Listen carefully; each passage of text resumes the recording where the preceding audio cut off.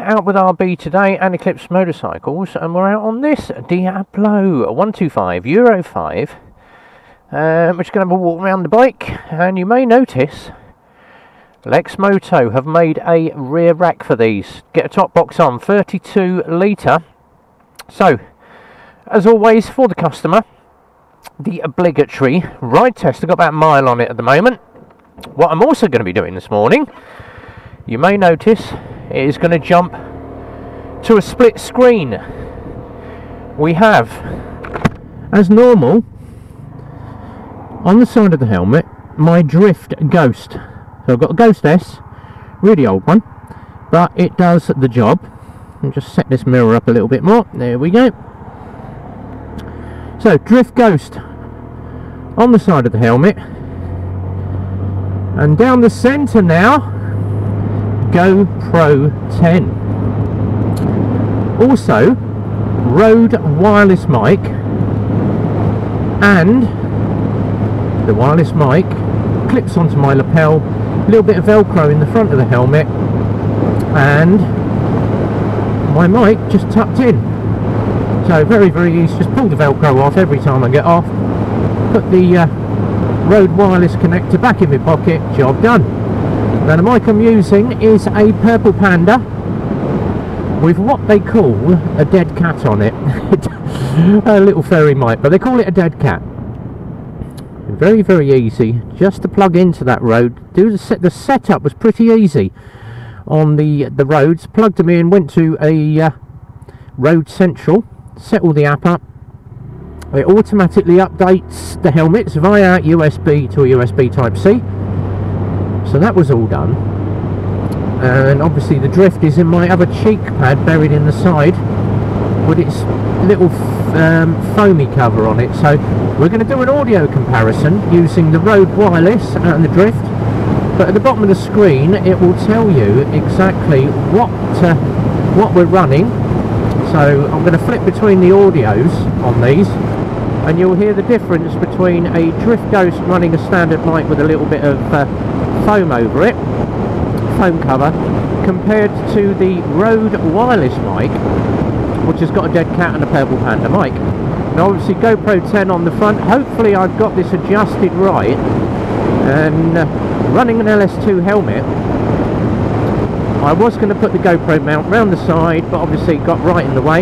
I found a company called Chin Mounts, and if you just type in Chin Mounts, um, just put Chin Mounts in, their company normally pops up at the top, but I went to them. They're in Canada, and I ordered the LS2 mounting for the Valiant, the Valiant 2. So chin mount for a Valiant 2 comes with all the connectors, all the clips, and your GoPro just literally slides straight into it.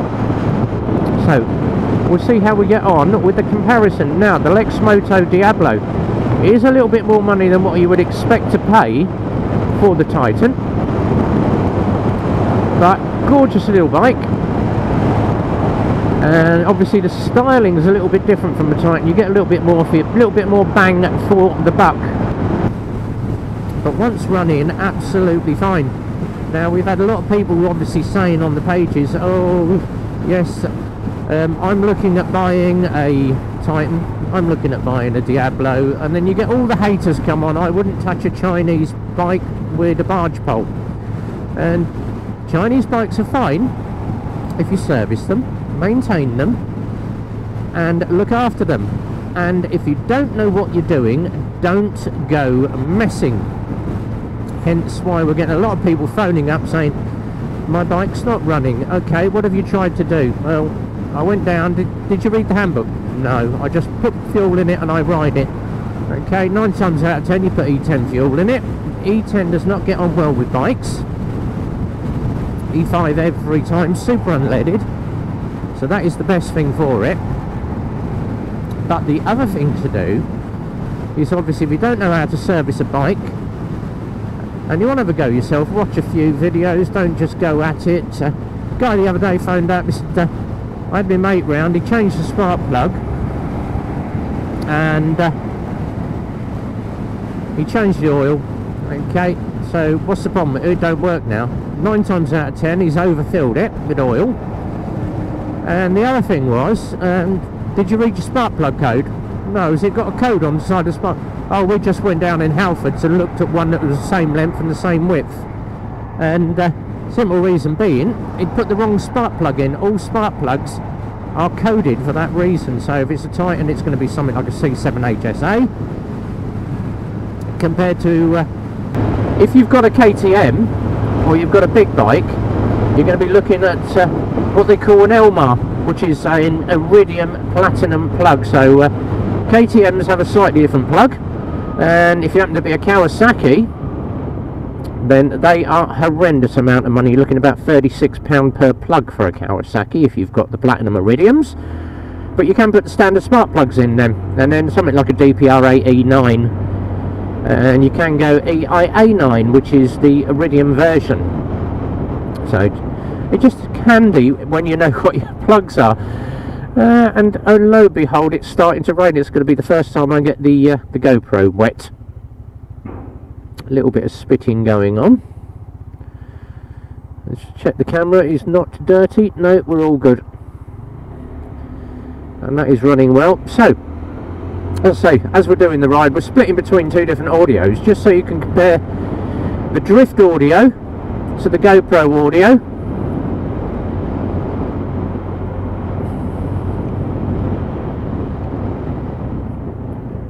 squeeze in here so you get to try out try two lots of brakes that is all good. 4.2 miles on the bike. Away we go again. So just comparing drift audio to GoPro audio. Now obviously I've been drift for very very many years. And uh, we had the Insta we had a huge issue with the Insta. Not using that very much now because it's crap. Wouldn't touch Insta with a barge pole customer service is awful. And then obviously we went to uh, the advice of a few people and the man that's no, the man that's responsible for me spending over two grand this month Andy GSA tractor at Simon GTR went and spent 600 pound on a drone so I could get some drone footage when I'm out on the bike. And then obviously uh, looking at a new camera. Simon said go drift. Go the new drift Andy went try the GoPro 10 you won't be disappointed. So on a whim had a bit of uh, YouTube money left in my account and I went and bought the GoPro 10 Black so Hero Black 10 I think that's what they call it. And he said to me he said you need the media mod? That's another 90 quid. Oh god more money. Went and bought the media mod. Plugs in now the only thing I don't like about the GoPro to change the battery. You've got to unclip the media mod take the GoPro out put it all back together but it's easily done, you know, it takes you a minute. So that's the only down thing, you know, I'd like the battery port to be the other side with the door, but needs must, job done.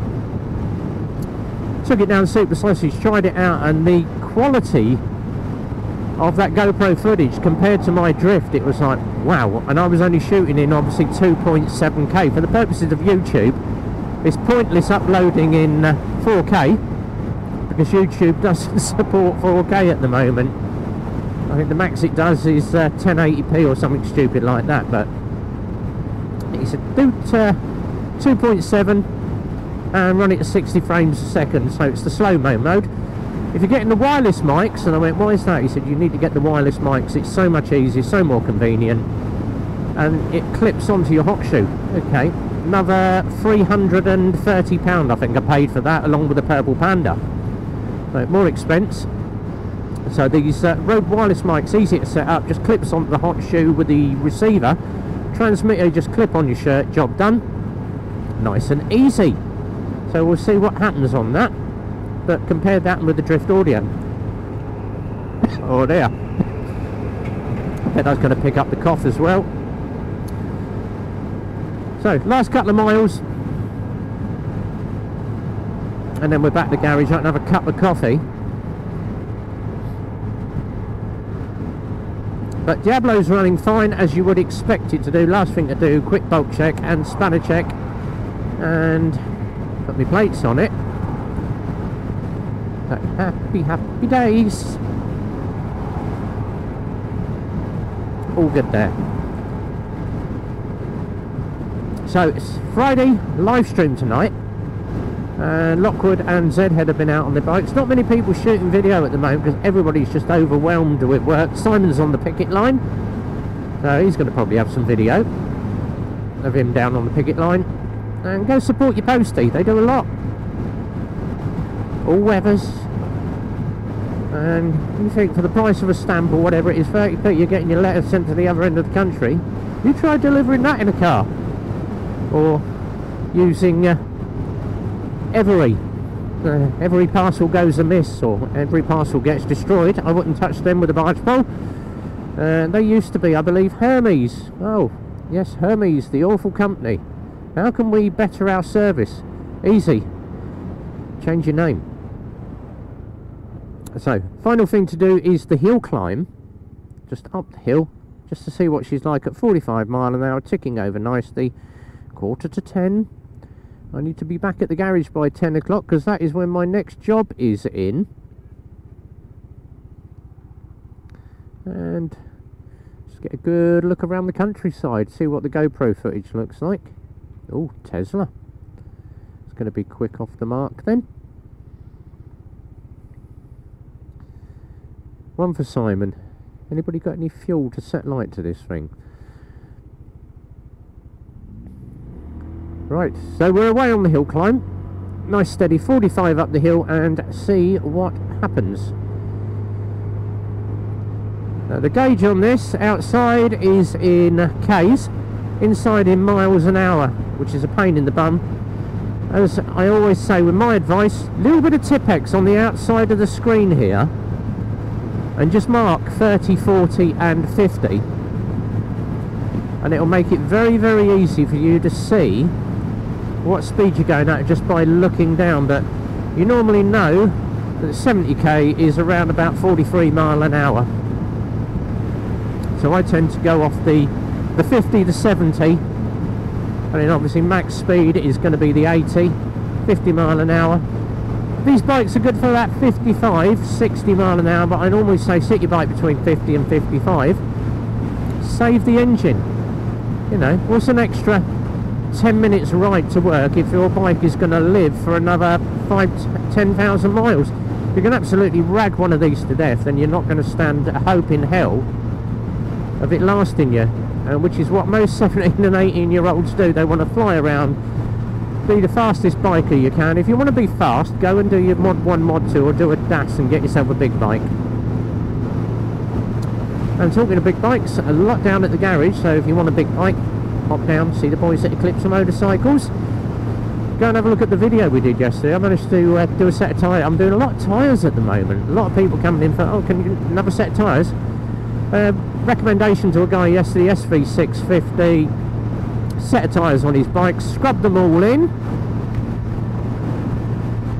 And we stuck a set of Metzeler S22s on those.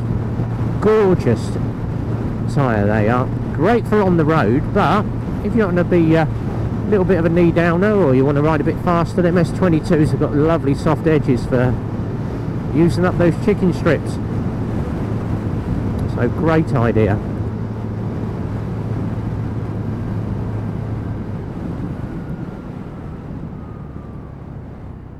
Right, back we go, in on the rear brake, down the other side, hill climb done. Hello RB's village.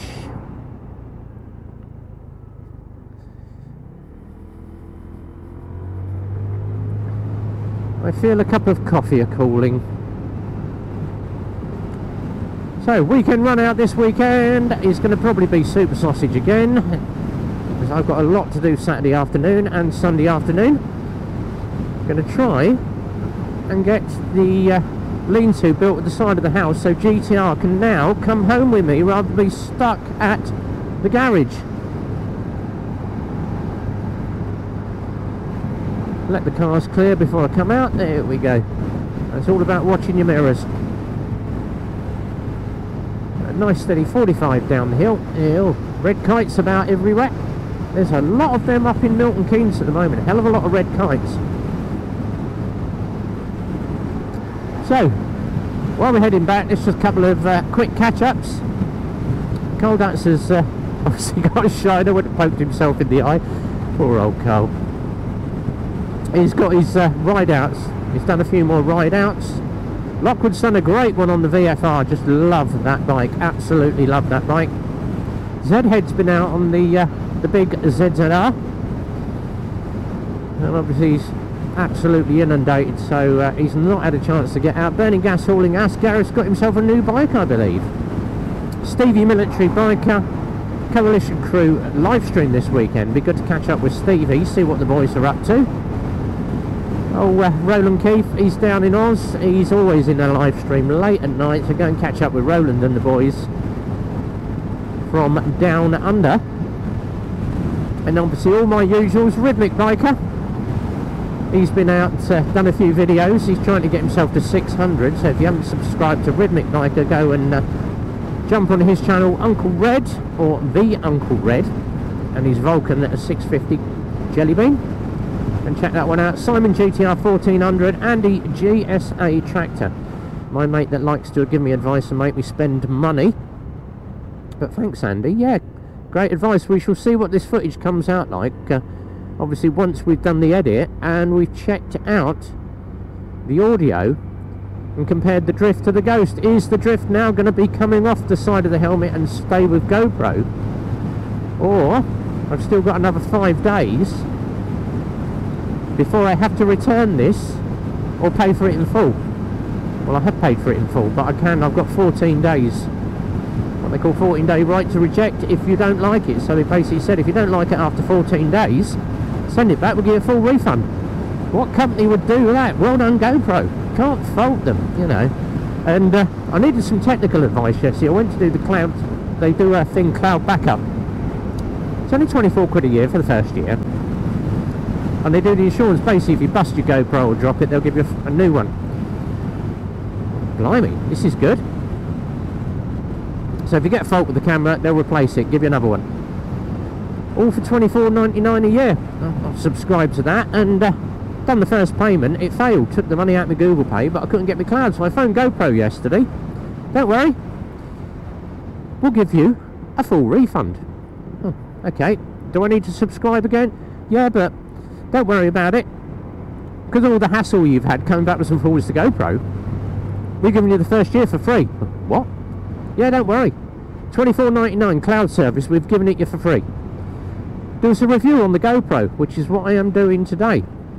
I should be doing some more reviews. If this is good and I get the footage back and obviously post-edit, we'll see what this is like. If it's any good, I might be ordering a second one just to put on the uh, side of the bike so I can get some different shots. But a lot of people said the 8s, 9s and the 10s are exceptional bits of kit we shall see. As always though, like, subscribe, follow us on all the medias, TikTok, Instagram, YouTube, Facebook, you name it, I'm on it. All the social media platforms, they'll all pop up in the windows. Uh, if you enjoyed the video, like, subscribe, share, comment, all the obligatories. Live streams on the Friday night, don't forget 8pm with RB, 10 o'clock with Simon GTR 1400. But from RB and the guys at Eclipse, uh, Test ride for customer on Lexmoto Diablo. As always, be well, ride safe, and it's a big goodbye from me.